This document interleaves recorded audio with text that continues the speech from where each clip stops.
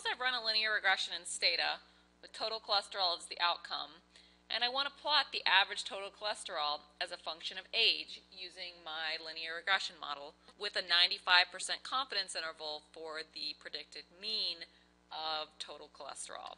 To do this in Stata, I first want to go ahead and create a variable that contains predictions of, to of mean total cholesterol using the uh, variables in my data set. So I would run predict.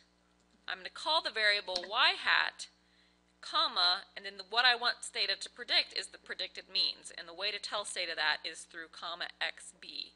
So now in my variables window, I see that I have a variable y hat that contains linear predictions from my regression model using the values of age from the Framingham dataset. Next, I need to predict the standard errors of these uh, predicted means. I'm going to call this variable SE y hat, and the option that I use to get the standard errors of the predicted means is STDP.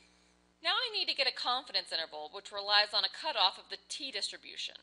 In this model, I have 861 degrees of freedom. So the way that I could get the lower bound for the confidence interval is to gen generate a lower bound equal to y hat minus, and then this is where I need to use the cutoff of the t distribution. I use the inverse t command with 861 degrees of freedom and I want the 1 minus alpha over 2 level of this. So if it's a 95% confidence interval, I'm always going to plug in here 0.975 times the standard error.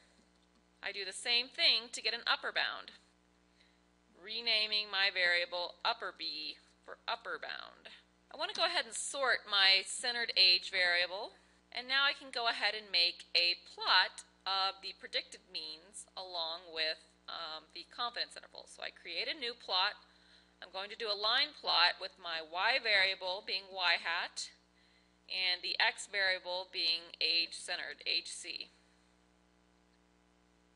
To get my confidence intervals, my y variable is now going to be lower b, the lower bound, and the x variable still hc.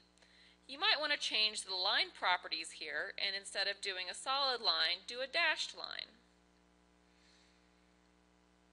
and repeat this for the upper bound.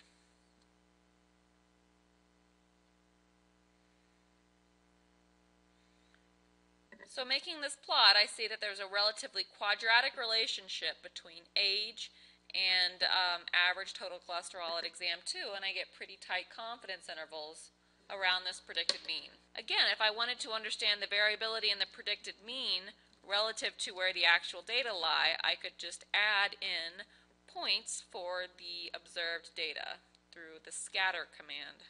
I could also just make a new graph within the two-way graphs menu. And again, the line is a little bit hard to see here, but you see that relative to the total variability in age, you're getting a relatively tight prediction